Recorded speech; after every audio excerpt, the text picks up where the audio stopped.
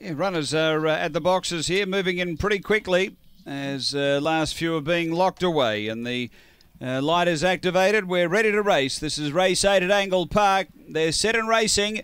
And good line away. Pure Ability out deep, pushing on hard, is going to drive over it. Cleared them.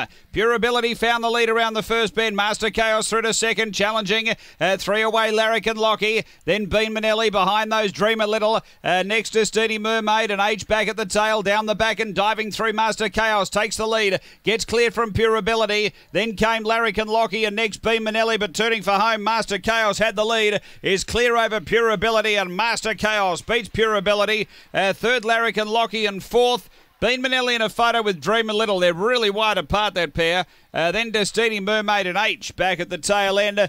The time here is around 29 at 80.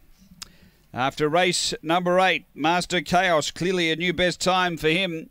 Uh, Irene Riemann trains. Paul Riemann uh, owns a black dog. January 2016, Lochinvar Marlow Gem Tree was able to boot through hard and uh, has been able to uh, run away with a really good win. 3 8 1 and 7 are the numbers 3 8 1 7. 8 second, pure ability.